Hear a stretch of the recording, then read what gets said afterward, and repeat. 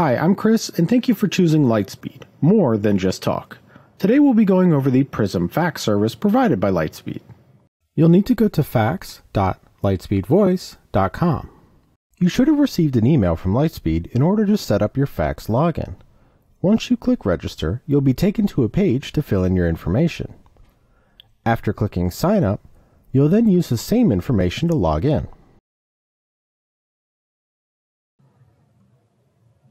Once logged in, you'll be on the main dashboard page for the faxing portal. On the far left, you'll see four tabs Fax, Drive, Contacts, and for the admin's view only, Users. We'll start with the Fax tab, as it will be the most used day to day and cover the most important function faxing. The first step will be adding a number you'd like to fax to. This can be done by either typing it in or selecting someone from your contact list. I don't want to fax any of the people in my contacts currently, so I'm just going to type a number in. We'll go over adding contacts just a little later. Type in the fax number, including the area code. If you'd like to fax more than one number, click plus on the right side to add another fax number field. You can click the red X if you change your mind.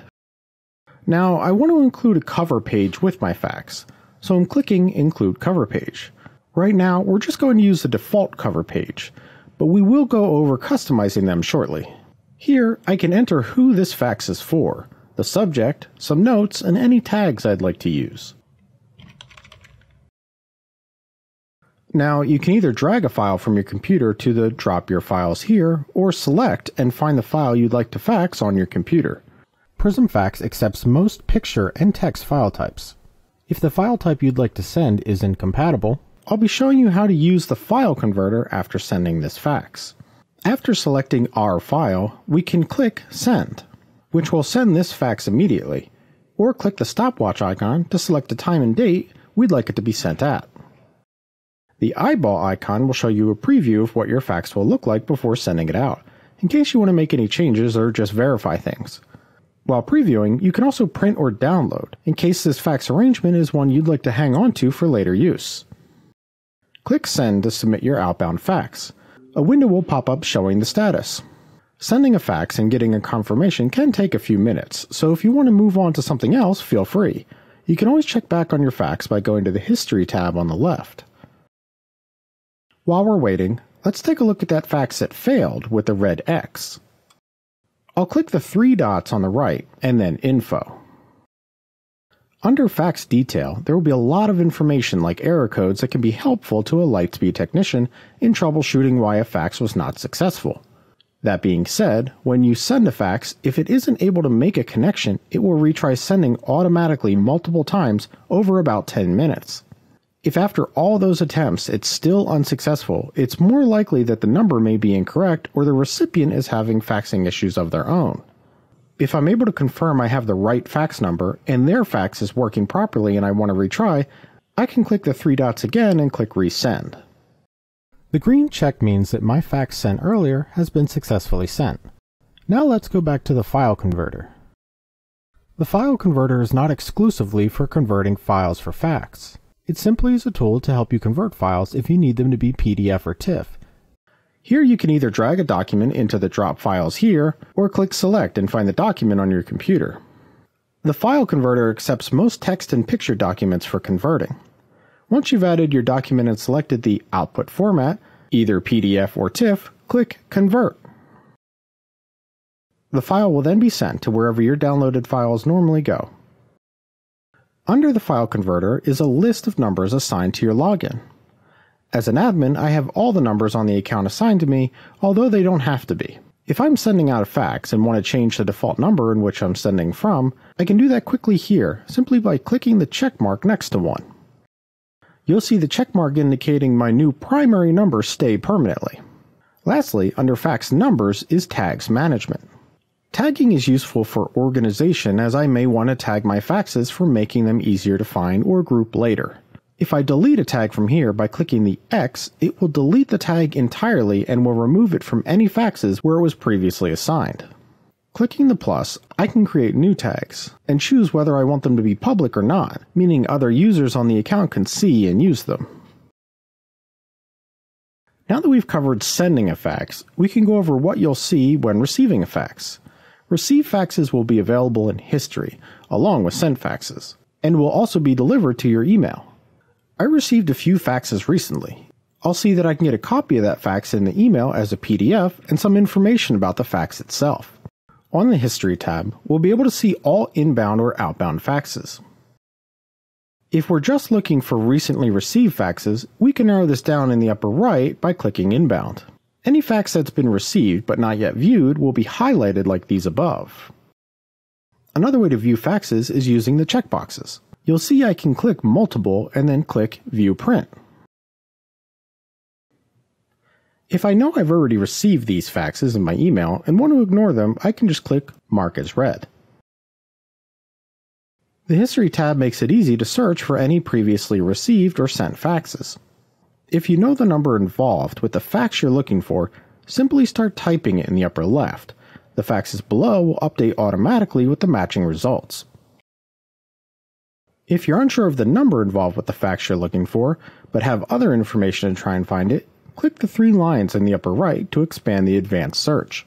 Here you can enter a date range, select a fax status like failed, success, choose a user who either sent or received the fax, or search by tag.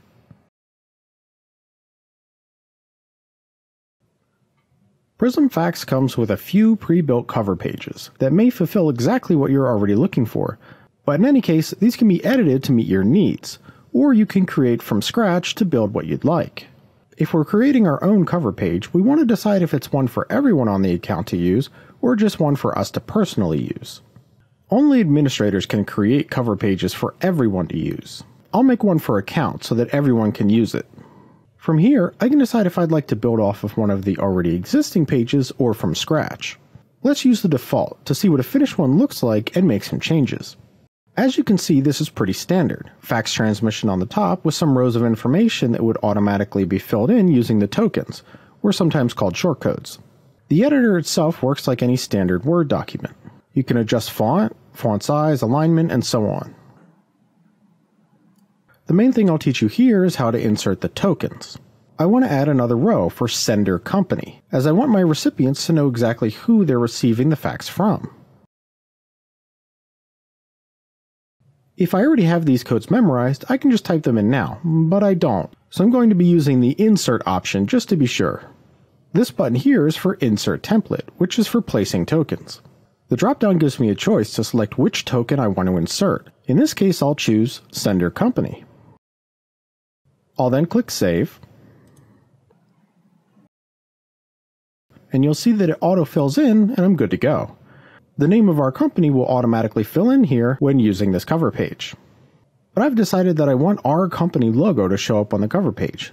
This can be done by clicking Upload from Drive, and then clicking Upload File. You can click Upload File and browse your computer to find the file you'd like to add. Since I want this cover page to be available to everyone on the account, I need this file to be public. As you can see, I can click on the image and drag it to where I'd like it to be. If I want to get a better view of how my document looks, I can click Preview along the bottom. If I like the way it looks, I'm going to give it a name and then click Save. If I want this to be the new default cover page, I can click the three dots and select Set as Cover Page. Otherwise, I can just set as user default for myself. If we go back to the fax page and turn on Cover Page, we'll see it's already ready to go. The Numbers tab allows you to assign your users to specific numbers for them to be able to use. This tab is only viewable by admins. Also, if you don't have users on your account already, we'll go over setting them up shortly. When I click the Numbers tab, the first thing I see is the numbers on the account and who is assigned to each. Here we see a number that is only used by me, and another that has me and the rest of the staff assigned as well. On the right, click the gear icon. This is where you'll be able to make changes on who is assigned or removed. Since everyone in my office is already on this number, I'm going to go ahead and just remove myself. On second thought, I do want to be assigned to this number as well. So I can go back and click Add, click on myself, and I've been reassigned. Click Save when done. If you have a larger office and want to narrow down by specific numbers, you can use the search in the upper left. The Reports tab will give you a breakdown of all faxes sent or received within the time you choose to narrow down by. Reports are only viewable to admins. Fax usage shows the amount of faxes, in or out, on the date range specified. Week is chosen by default and shows that I had 4 faxes yesterday, but 6 faxes today. This can also be broken down by month, 6 month, and year. We also see some similar metrics on the right side for the current month, including usage, fax numbers, and total duration. Scrolling down a bit, you'll see reports you can generate, either detailed or just a summary. For detailed, we'll choose the account, which should likely stay as is. User, or if no specific user is selected, the report will be generated on everyone. Status, which is used to narrow down either all, failed, or successful faxes, and direction, which is for narrowing down by all, outbound, or inbound. Lastly, I can select the date range by clicking on the specific dates, then click Generate Report. Once the report is generated, you'll need to scroll down just a bit we get a new box below for detailed report, which shows all available fax information. This can be downloaded by clicking the download button toward the upper right. If we scroll back up and just run a summary report, we'll get all this information but condensed down. We'll now move on to the Contacts tab, where we'll see any contacts I have associated with my fax account. These would normally be people I expect to be faxing more than just once. Let's first add a new contact by clicking Create. There's an option to choose whether this is a person or organization. Then we'll enter name, email, fax number, and phone number. The email and phone number are both just to store this information and are not used relating to faxing itself. The fax number will automatically be used when adding this contact to an outbound fax. At the bottom, you'll see visible to account users and editable by account users. This just means that other users on your account can send to these contacts as well. And if you'd like, they can edit them if needed. If you'd like to import a list that you already have into contacts, click Import in the upper right. Instructions will be provided as to the layout of the CSV file. Click Next, and then either drag your files here or select from your computer. Then, if there's no errors, you can click Done. The last tab on the left side panel is Users. This, of course, is only viewable to admins. This is where you can create users for the account to add employees in your office with their own logins and numbers. As you can see, I have myself, which is labeled as an admin, and the two other users along with me. If there are a lot of people on my account and I want to search for them, I can start typing their name or email address in the upper left. Also, there's an advanced search option where I can narrow it down by admin or user as well.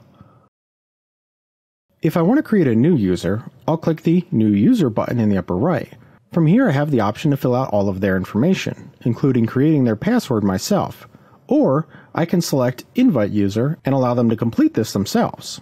When using Create User and making the password myself, I can select Generate Password for a secure random password and I can also require that they update it on their first login. PrismFax also has the ability to fax from email. This feature will only work from an email address associated with an active account in our system. To send a fax from email, compose a message from your email. In the To field, type the 11 digit fax number, followed by at send.lightspeedvoice.com. It is important to always use an 11 digit fax number when formatting the email. This means you need to include the 1 for faxing any number in the USA or Canada. If you have your cover page setting turned on, which we'll go over shortly, Prism Fax will automatically take details from your email and populate it directly onto the cover page. Anything that's typed into the subject line will show up on the RE portion of the cover page. Anything typed into the body of the email will populate in the comments field of the cover page. When sending a fax from email, you can attach a single document or multiple documents, and they will be converted to a faxable format and sent to your destination fax number. Once your documents are attached, simply hit send.